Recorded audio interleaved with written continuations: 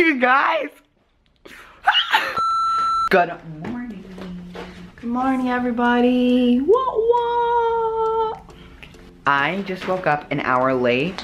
I was supposed to wake up at 7.30, but then I shut my alarm off and slept till 8.30. Anyway, last night I tweeted a short video of me singing um, for the karaoke. Uh, go follow me, it's Colby Life. And I put had a blast night, found out that at Gil McKinney is so awesome, and so is at The Real Beverly and at one Michael Coleman. Thanks for a great night. And right after I tweeted it, Michael Coleman favorited the tweet or liked the tweet. He replied, you killed it brother, can't wait to your album. like, what? And then Beverly Elliott I woke up to and she said, you killed it. Like, um, someone who's in the audience said you sang great on stage. Anyway, since I only have 30 minutes till the next thing, I'm gonna go get some food and coffee. White chocolate mocha, cheese Danish.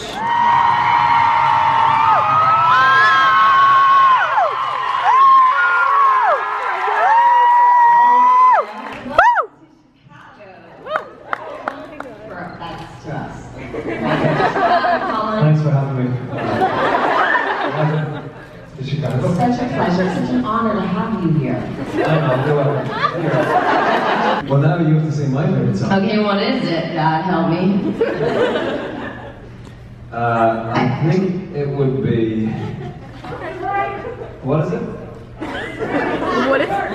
Oh God, that song, I love that song, but that's such a slow song. Can you do Born to Be Wild? Born to be wild. Hi. Hi, uh, this question's for Colin. Um, I wanted to know what older brother Liam would think of, of Killian's turn to piracy after his death.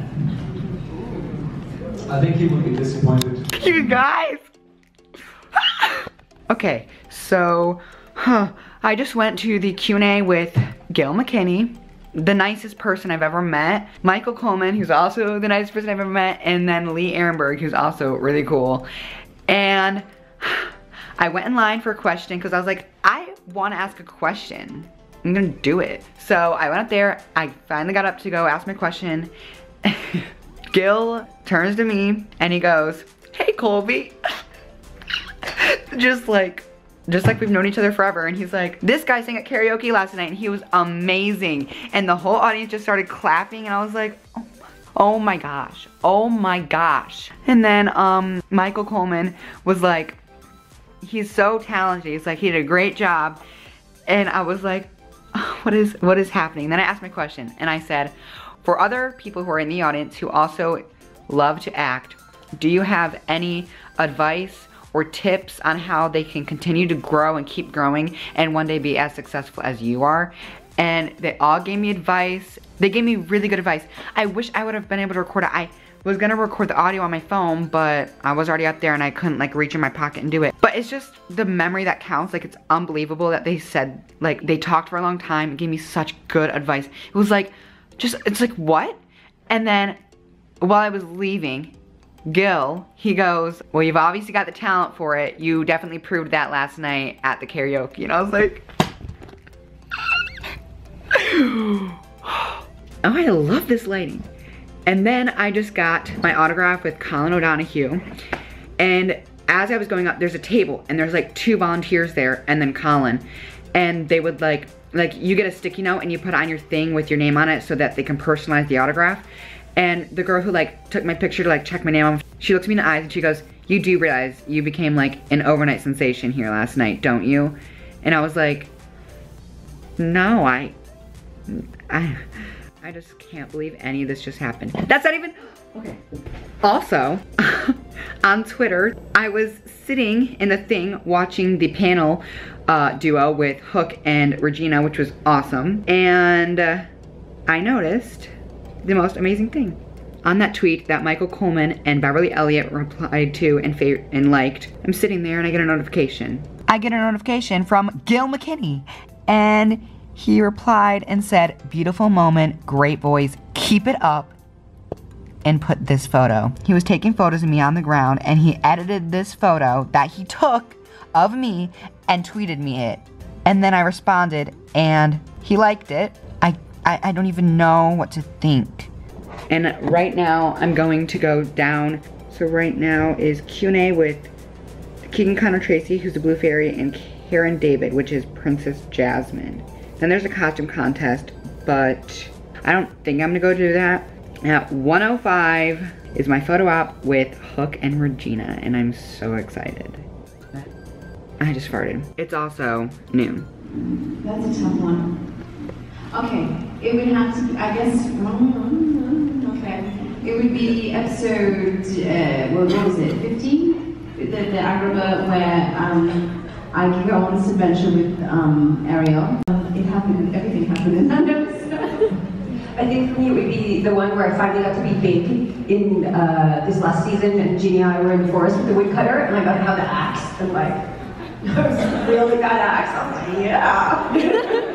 I was wondering if you've ever had any crazy uh, costume malfunctions, because I know you have some. On once, I haven't. When I filmed um, Scorpion King, the journey of my role seems to, I'm either wearing leather or I'm wearing something that I can't eat in. And so this outfit again, it was this fabulous outfit, but it was corseted in the front and it was tied up similarly like this. Oh God, I gotta be careful now. We were out in Cape Town and outside of Cape Town filming in the desert. And all of a sudden, I had no idea, it was very tight and it snapped. And I basically flashed the whole crew, and my chicken fillets on top of that fell out. and it was my co-star Michael Copon that literally stood in front of me and said, um, Karen, yes, look down. And I went, what? okay. All right, so I just got back from the Blue Fairy and Jasmine's Q&A. I didn't stay for the whole thing. Like, I went in and kind of saw the last 15 minutes. And uh, in a few minutes, I'm going to get my photo with Regina and Colin. So, with Jennifer leaving the show, what would what do you think the storyline for Hook will look like? Well, if you look a lot like me, I can't really give away anything. So, I might know a few bits and pieces. but I'm not going to tell you. So, I wanted to know who and what inspired you to be an actress. Oh my gosh. So um, I have an aunt who's an actress who I really admire and looked up to my whole life and still do. Um, so she had a hand in sort of inspiring me. She didn't really guide me towards anything except for she guided me towards, you know, learning my craft and, and making sure that I did all the homework before I went out there and try to be in the industry. Hello, guys. It is currently 8.30 p.m. I have an hour before the concert, which I'm super pumped for. Right now, you know what? I'm bet you that I waited for, I bet I just spent three hours getting autographs. I swear I did. I just got four autographs. I did, exactly. Three hours I just spent waiting in line and getting autographs. So, I got autographs with Jasmine and on this same picture because I didn't feel like spending $7 on two more pictures and I thought it would be fine to get them all on this. It'd be kind of funny. I got the Blue Fairy's autograph, Jasmine's autograph, and Grumpy's autograph. And Grumpy's awesome. He, at the Q&A, he said he remembered me from the question I asked about acting and he spent so much time talking to individuals and he was like, I think you have a shot. You've got to keep going. You've got to have confidence and you've got to stay extremely humble and you've got to keep doing classes and learning and learning and learning and learning and learning. He said that the guys remembered me and if they remembered me, that means I'm talented because he said that they wouldn't remember me if I wasn't talented and I was like, that means so much for coming from you. Like, oh my gosh, he was so nice. The Blue Fairy was the first one and she put, where's Blue? Because it's Jasmine. And then Jasmine put, like laughed and put hashtag keep it shady, yo. And then put King Colby and signed and then Grumpy just put, I really, I don't know what that says. And then Grumpy signed it. Let's just say that. Jasmine was awesome because she already had signed so many autographs and she had so much energy, was so funny, was just loving it. And then so was the Blue Fairy. She was still loving it. And then Regina, my queen, signed this. The, she had so many autographs, like more than anyone. It was taking forever. So she was tired and I don't blame her, but it was awesome. Also, this is the sunset right now. It's beautiful. I just got a really cool picture with my camera of me sitting here, like with my feet up, looking out the window by myself. So yeah, go follow me on Instagram. Colby Shameless promo if you want to see that. Yay, and then I didn't have time to pick up my picture because I didn't realize the autographs would take that long. I hope I can get it tomorrow or else I'm gonna have to download it and print it myself. I'm going to now cherish all of my autographs. The floor below the lobby level, I'm going down to check. Yes. I don't think she realized I sent that an hour ago. Woo! Having an amazing time.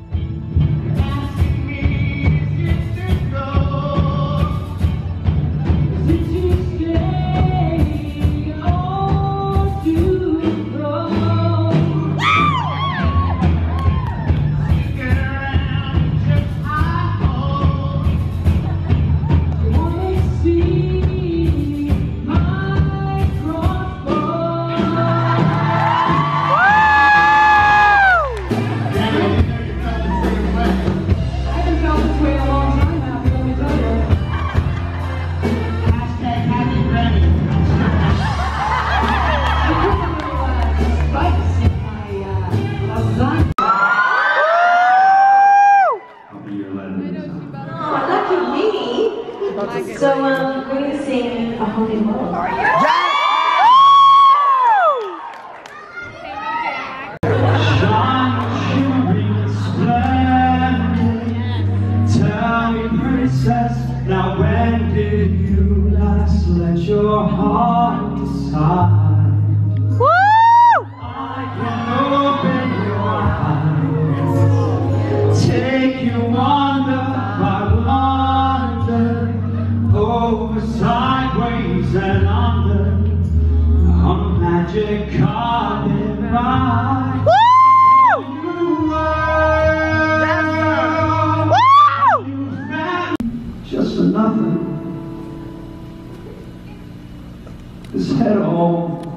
full of stuffing. This heart so full of pain.